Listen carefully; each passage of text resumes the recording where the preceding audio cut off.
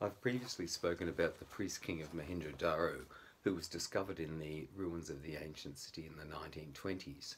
Uh, he dates from the mature phase of this civilization between 2600 and 1900 BC, when it was a flourishing urban society with extensive trade networks, sophisticated city living, a written script, and um, many sophisticated industries relating to bead making, pottery, metallurgy, and the like.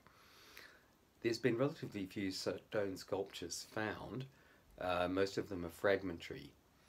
Uh, one sculpture I wanted to talk about today is in the National Museum in Delhi.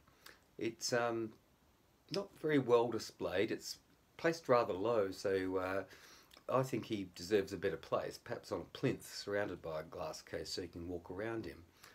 There are strange proportions of the uh, sculpture in that the face is very large compared to the head and the ears are small and shell-like.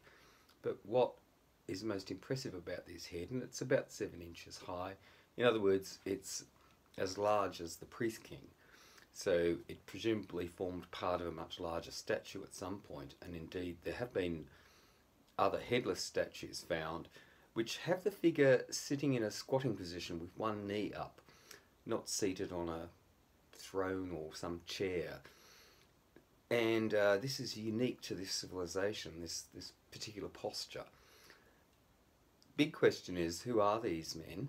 Uh, they are, it has been speculated, perhaps important uh, clan heads or priests or somebody of status and why these sculptures were made and why they were kept in the home. Uh, it's been speculated that they are perhaps there to honour a important ancestor, um, just to honour a great man and keep him with his family.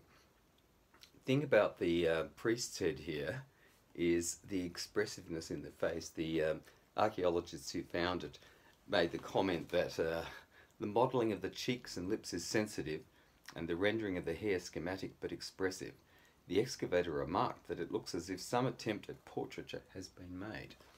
I agree. When photographed from a particular angle, this is a very expressive face that's looking out from those ancient nights, and we can only speculate what life was like in these ancient cities when people look back, perhaps honouring their ancestors the exciting thing about the Indus civilization is that new discoveries are being made all the time. It's like a giant puzzle that's slowly being put together. And the biggest mystery of all, of course, is the script, which remains undeciphered. But I look forward to every new discovery there, piecing together how these ancient people lived.